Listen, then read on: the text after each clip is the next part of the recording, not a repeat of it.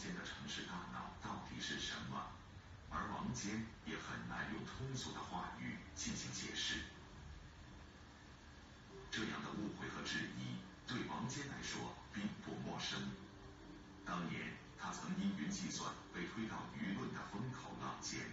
作为这一概念在中国最早的实践者，王坚经常描绘激动人心的未来。但很多人抱怨，加上非常巨猿的出身。